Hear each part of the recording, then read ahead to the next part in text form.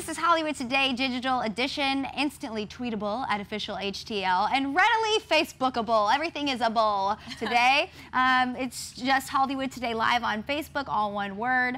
I'm Kristen Brockman. And I'm Amanda Salas. Our next guest is a model, a singer, and a television star. And you can catch her on the second season of the W Network's Shannon and Sophie. Take a look. Good choice in the restaurant. Thank you. Are you cold? Do you want some tea? Or Uh, I'm good, but yeah, I'll have some tea. Come in. just um, stop it. Sorry. Wow. Oh, really? Boots, boots. Sorry. We were playing with the dog. Busted! Busted! Please welcome Sophie Simmons. Okay, how many times growing up did you walk in on your parents? Thankfully, not until that moment. Oh! Yeah, I feel like it would have scarred you weren't me scarred earlier. Yeah, just now, from now on.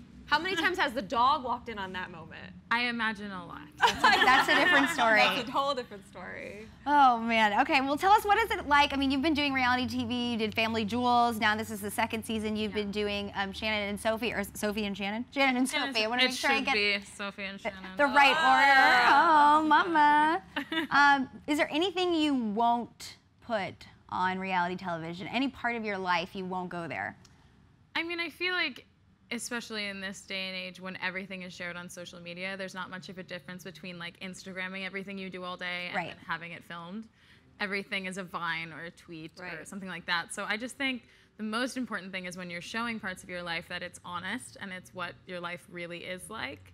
Because there's so many reality shows out there that just show what they would like to be portrayed as, and then it gives their mm-hmm. viewers like a false idol to look up to and try and emulate. Yeah. That's true. You're acting, You're Right. essentially. You're really close with your mom, both I on screen and off screen. Now I know you're close with your mom. I'm Uh-huh. close with my mom. What are the perks and the perils of working side by side with your mom? Ugh, I mean, my mom is my best friend, so she knows everything, which is good and it's bad because she will. Okay, so how like how how how nasty of stories am I allowed to tell? Like decently. See, yeah, go for it. Go for it. Okay. Yeah. So I was dating this guy, one of my first boyfriends, and well, that makes me sound young. No, I was 19. So one of my first You real long-term boyfriends, and we nicknamed him the Bat because he played professional baseball and he was well endowed. Oh. right. Okay, so- that's kind of up. bad. the bat. So we take him to dinner with my parents, and I've told my mom everything, obviously, About the bat. about the bat. Everything, okay. So we sit,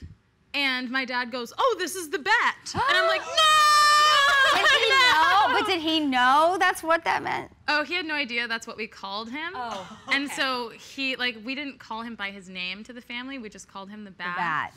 So then it was all. It then you're like, oh no, it's it's honey because you. I was like, because of baseball, because of baseball. No, I meant like you know the one that flies around. Uh, And this is like a family dinner, like mom, dad, me, my brother, his girlfriend at the time. Oh, wow. Yeah. Everybody. Yes. So there's like no boundaries whatsoever. The bat. That's and good my though. dad obviously had no idea that we were referring to his. Well, that's what I'm saying. Did he Right. know that that's what so he my mom thinks when- it's like the funniest thing ever because he thinks it's about baseball. It so is. does the guy. Me and her know that it's about a penis. It's like terrible. Inside joke with mom. Totally. Yeah. Yeah. Do you, do you think you'll ever stop doing reality TV if they keep offering? Because your family is so interesting and your life is so interesting. Do you, think you would ever come to a time where you would say, I'm ready to move on from that? I mean, I think I think I'm pretty used to it, and I think it, it's a good platform to get positive messages out there, which a lot of people don't do. Mm-hmm. So, I mean, I don't drink, I don't smoke, I live pretty healthy lifestyle. Like, I mean, I eat pizza and candy, but I'm pretty healthy, and I feel like it's just good to have people on TV that are real with who their viewers are and I mean, I, I don't think there's a point where I would be like, get out, I've had enough, because like at this point, you've seen literally the worst of the worst that could possibly happen. So, Yeah, and it doesn't seem as you know dramatic as Real Housewives or anything like that. It seems like you said you're being yourself and real. yeah, and, we're we're, we're family. We're not gonna like flip a table or like Right. each other.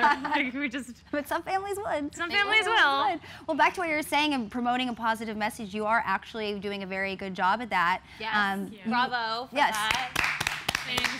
You are very into promoting a positive body image, Yeah. and we just saw on your Instagram when we were looking, you posted your measurements the other day. My measurements. Your Bravo. real, Yeah. true Bravo. measurements, and Yeah. that takes a lot of guts, especially in this day and age. Um, what what is it that made you want to kind of be a voice for that?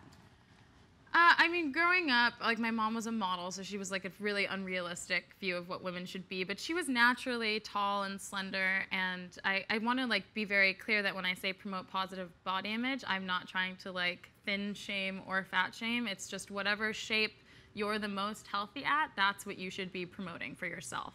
So growing up, she was very thin, and I always tried to emulate that. But I got more of like my dad's side of the family body shape. We're like more curvy. We have boobs. We have a butt.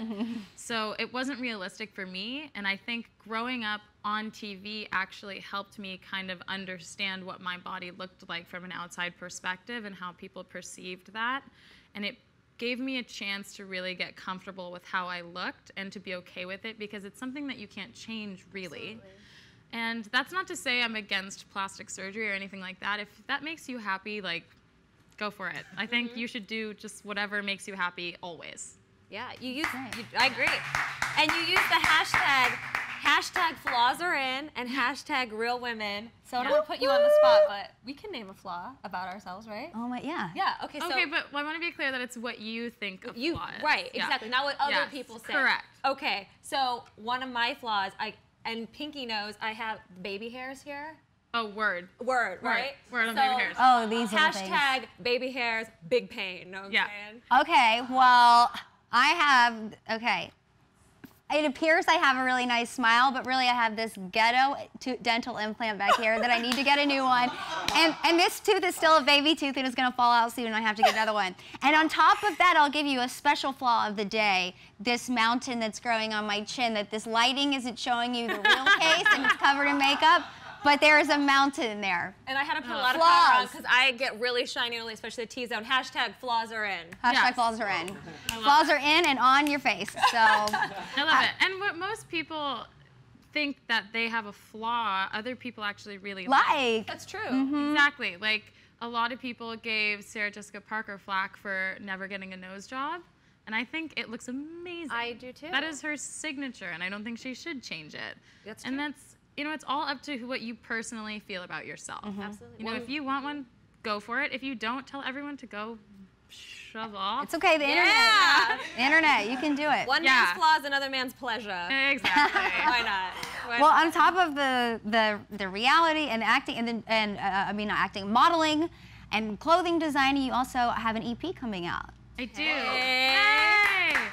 So, as a believer in doing everything that makes you happy, I don't think that women, especially now in this day and age, can limit themselves to just one thing. I think we're all slash girls. We're all, you know, career driven, and we're all doing modeling and acting and writing and whatever we want to be. So I don't think you could just have to be a TV personality. You can be whatever you want to, and you can be as many as you want to. So. I really enjoy music, and I started writing about a year ago, and I'm going to put out an EP, and if people like it, that's amazing, and if they don't, then it was really just for me anyway. Is your dad gonna make any appearances on the album? I hope not. Is he gonna be laying down some I'm sure tracks? he would love to. I love, I love, love, love my family, but it's definitely a different style of music than Yeah. he's used to. Definitely. Nice. Good. Well, we look forward to that. And then also, real quick before we want to go, I want to mention you have something very interesting coming up with the Style Club. Style I do, You look yeah. good doing it, singing. So and you're designing TV, yeah. slash designing. Slash designer slash music. 10, 14, 14. Yes, yes. So maybe when that comes out, you can come back here and, and show us some of your stuff. Yeah, Because I tried to look online, but I, you have to It's sign you know up. it's very sneaky. It's it's not up yet. yeah. So we'll look forward to that. Well, thank, you so much for coming. Thank, you you so so much, guys. Yeah, thank you. And you guys be sure to check out Sophie's EP as well as her show Shannon and Sophie on the W Network. And girl, thank you for coming. Yes, thank you. You guys want to stay with us because Allen Maldonado of The Equalizer and the hit the hit FX series You're the Worst is here. You can check him out on Hollywood Today Live Digital Edition.